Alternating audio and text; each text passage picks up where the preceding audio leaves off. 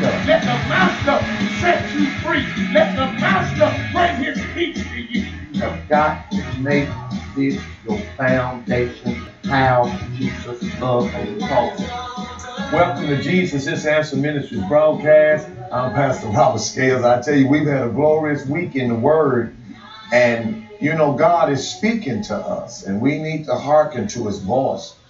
I'm teaching on the Lord as my shepherd. This is part two this week. And I shall not want. Want is a killer. Uh, it keeps you out of the Father's love when you're wanting. It just isolates you from how the Father loved you on the cross. And I talked yesterday how subtle the devil is in getting people to want.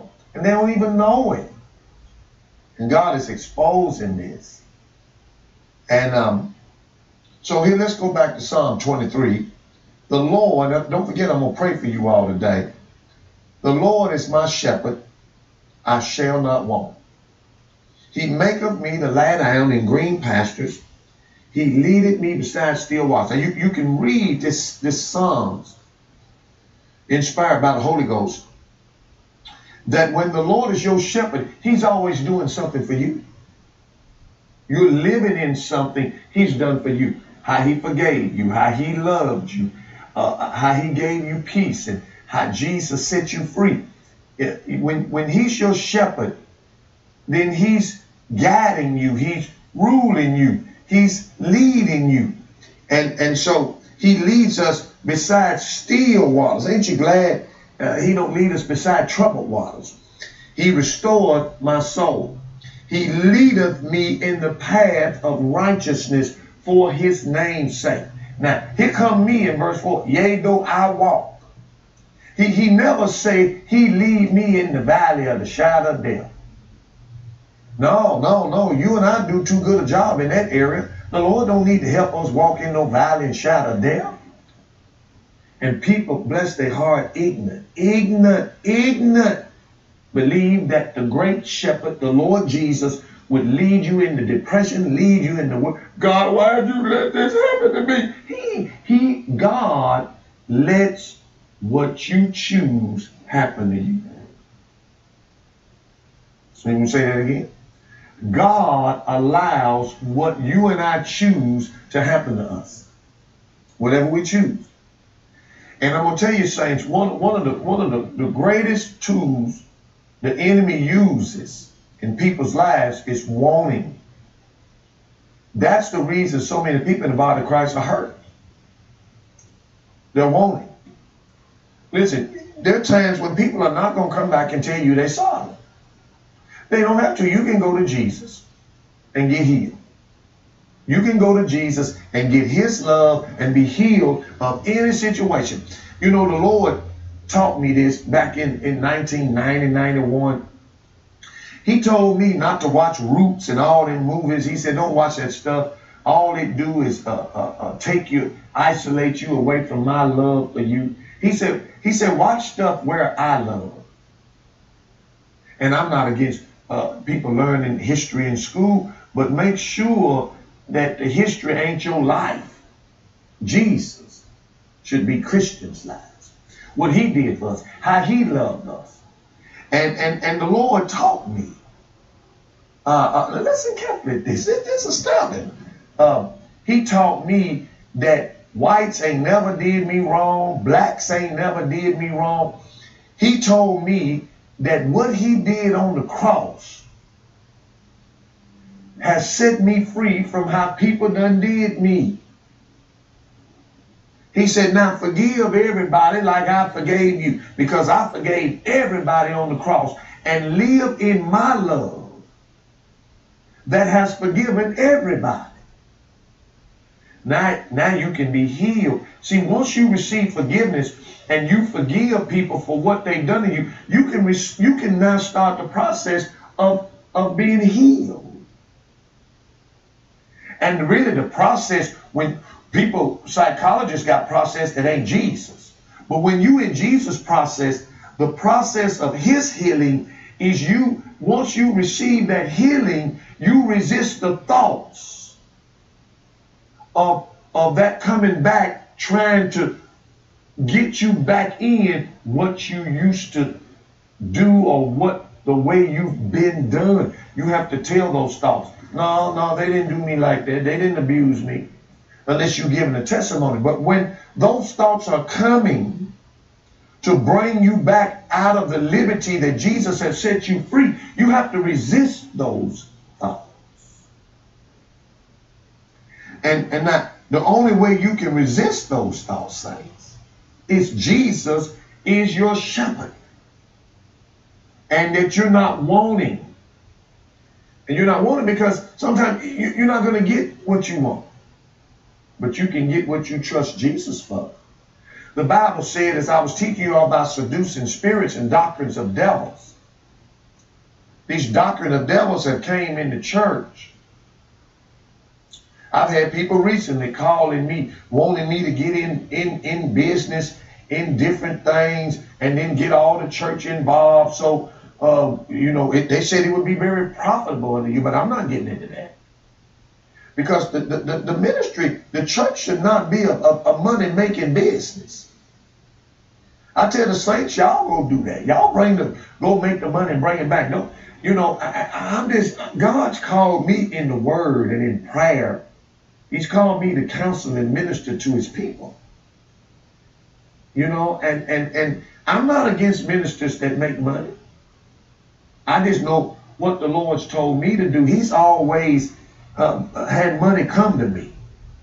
People see the anointing, get blessed by my ministry, and they sow into it. I, I just uh, keep doing what the Lord tell me to do and, and, and watch God come through. And, and what what people do is they, they want you to do something. You scratch my back, I'll scratch your back. You do this for me, I'll do this for you. And sometimes you can't even let people bless you because they want something back. Hey, you remember what I did for you? And and see, when I do stuff for people, I ain't looking for nothing back. I just did it because I love you and blessing you. That's how Jesus loved. And and and so when the Lord is your shepherd, he's always doing something for you. Now, when you walk through the valley of shadow of death, you, you should fear no evil. Even when we make wrong choices, end up in trouble, the Lord says, I'm still there with you. Now, woo, David God did not tell David to go to bed with another man's wife, get her pregnant, kill him. You got to be kidding me if you believe that. You are ignorant to the bone.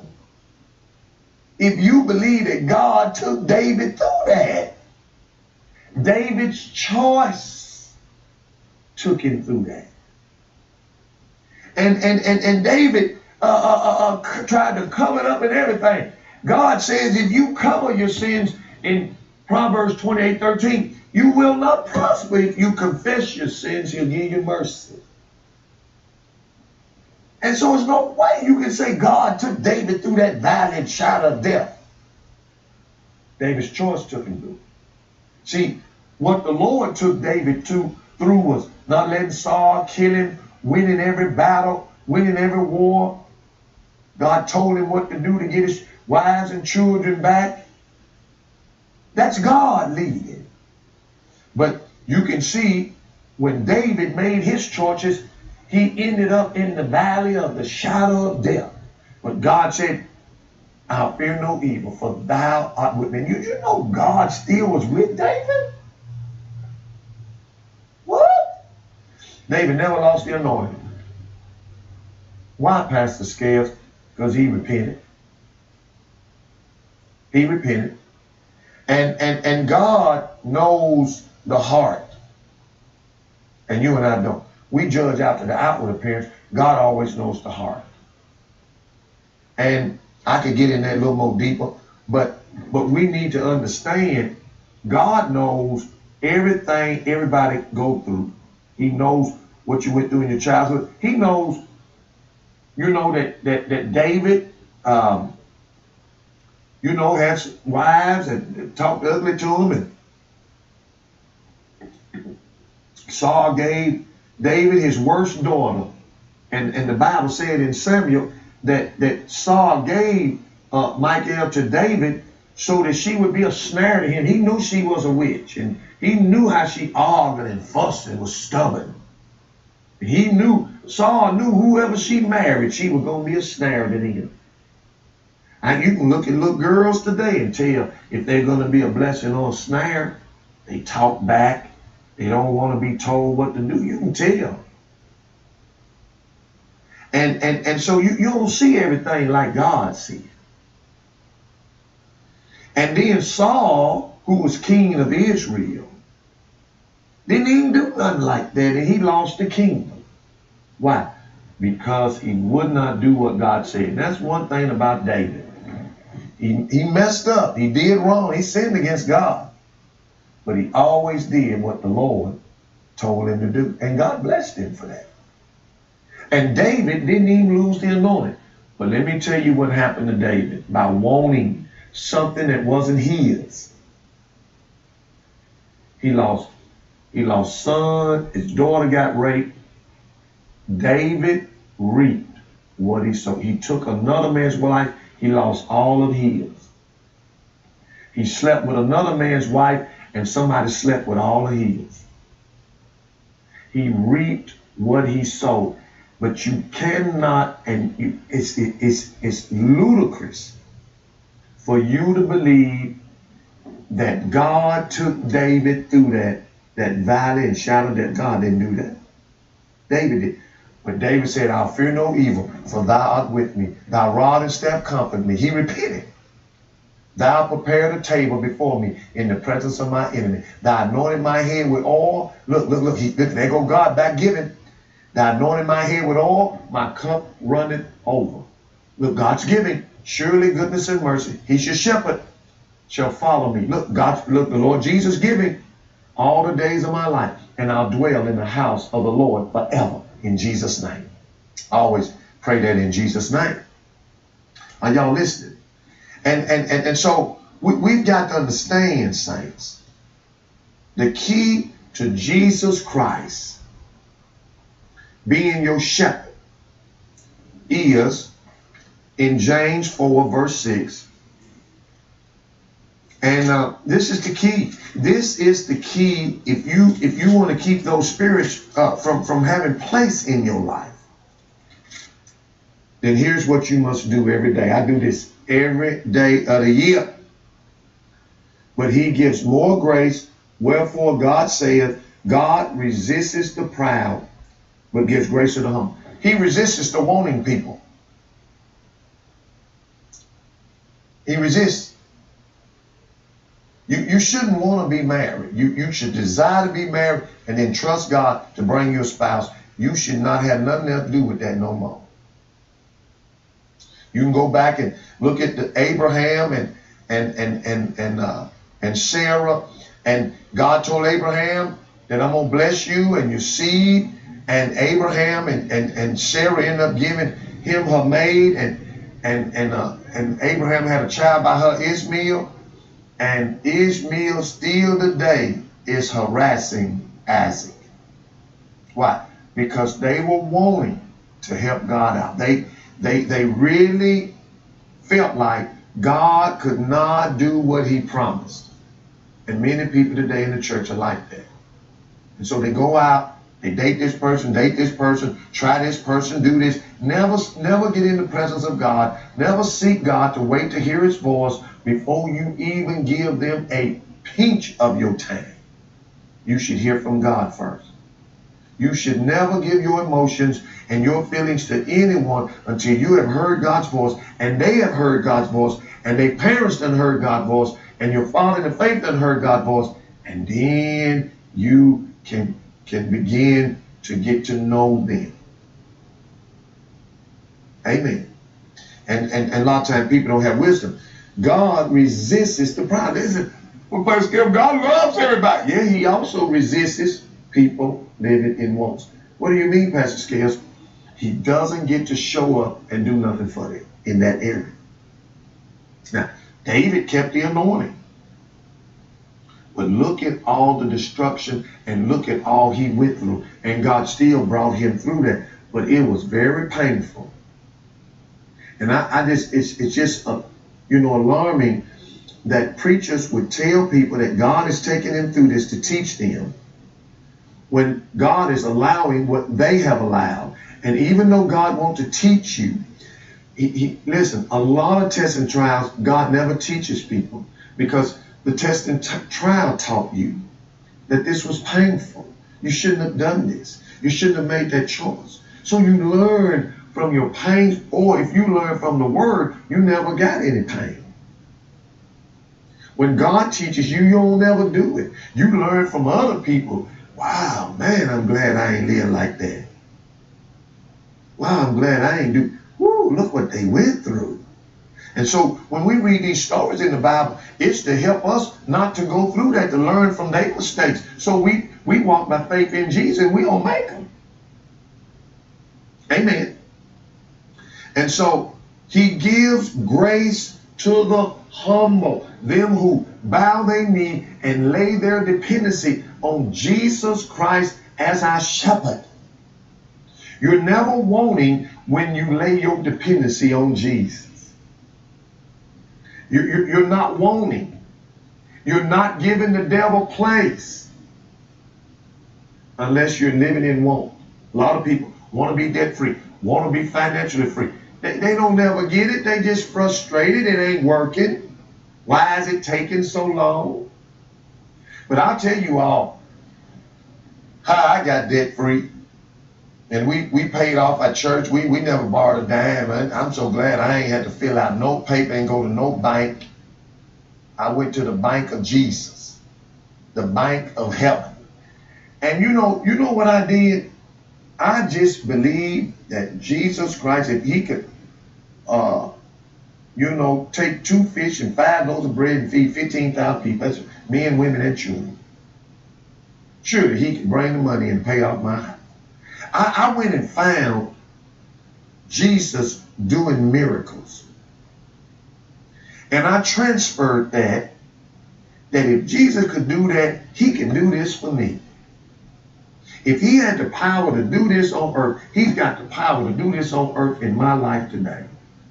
And do you know I sought the Lord and waited on him till he told me what to do? And when he told me what to do, I done that, bam, and I got I got my house paid off. And I, out of debt completely. And and and um so and I'm I'm believing God when I get my next house closer to the church that um that that that I'm gonna move in it debt free. And and uh, unless the Lord tell me something else. So listen, saints, in closing today, before I get ready to pray with you all, the key to defeating want is to, to let patience have a perfect work where you be entire and, and, and wanting nothing.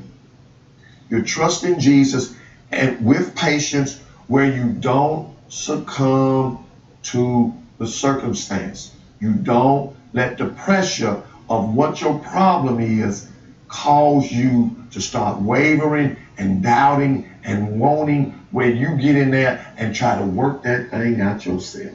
And ooh, are you going to make a mess?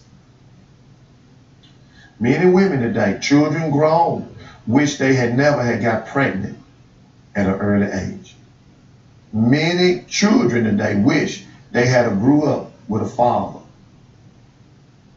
And so I'm, I'm telling y'all, even though you wish, you know, I hear people say this, man, I wish I'd have been saved earlier. What what for? You you you never gonna be saved earlier. Why don't you thank God that you saved now? It's no sense in talking like that. It's not gonna produce fruit. But Jesus will produce fruit. So Jesus said, submit to God. Resist the devil, he will flee from you. Now, in closing, listen carefully. In John 15, verse 2, and we'll close with this, and then I'm going to pray with you all. This is a good way to close. Every branch in me that beareth not fruit, Jesus takes away.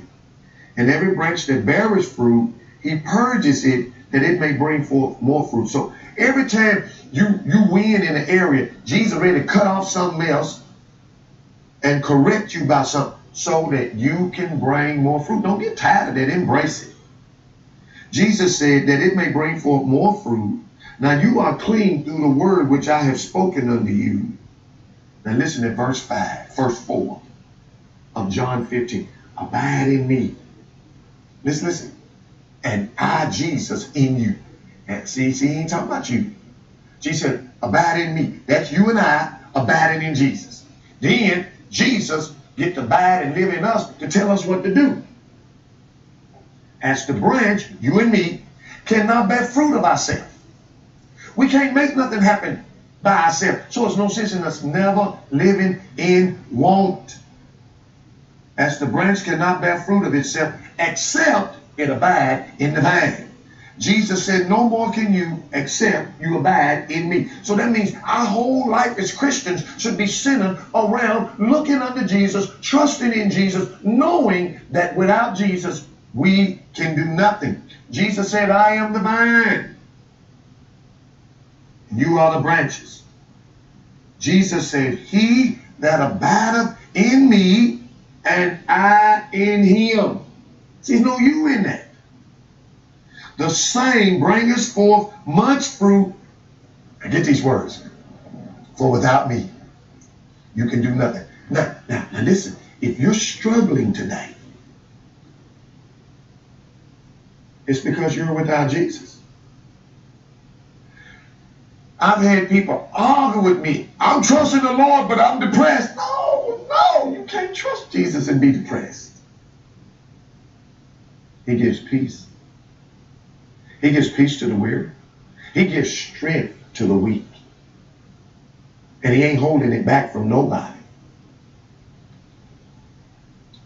People are not looking that without Jesus you can do nothing. All of you that are struggling, all you need to do is pray with me today. Receive Jesus' love.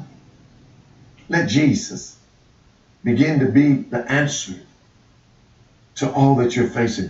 Let Jesus become your shepherd where you quit wanting and you start living in, abiding in him and him in you so that Jesus can teach you how to overcome the world, how to be tempted and not sin, how to get his wisdom, his righteousness, his sanctification, his redemption. Pray this with me today. Say, Lord Jesus, I believe in my heart that you came on this earth and died for my sins. I believe in my heart you took all my sins away. And on the third day, I believe in my heart God's mighty power raised Jesus from the dead. Come in my heart, Lord Jesus, and save me and change me and give me eternal life. I repent of my sin, the sin of unbelief. I turn from unbelief and put my trust in you, Lord Jesus. Now I believe. I receive forgiveness of all my sins. Thank you, Lord Jesus. Now I want to pray with you all that are sick. Point your hands toward the screen. Father, I thank you. Oh, glory to God. That's the anointing. In the name of Jesus of Nazareth, I loose you from that infirmity. By the authority of Jesus of Nazareth. Satan, I command you to take your hands off their bodies. I speak the life of Christ in their bodies. And Father, I come against those demons of oppression, those spirits of Antichrist. I render you powerless in the name of Jesus. I command you to take your hands off their mind, and I command you to loose their money in Jesus' name, where they can give in the kingdom and they can walk in the blessings of the Lord. Father, I thank you that their lives will never be the same after today. In Jesus' name. Now begin to thank the Lord. Begin to thank Him and praise Him.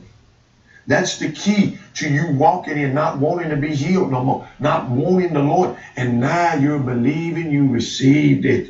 Hallelujah. Rejoice. Hallelujah. I rejoice with you. The Lord is good and his mercy endures forever.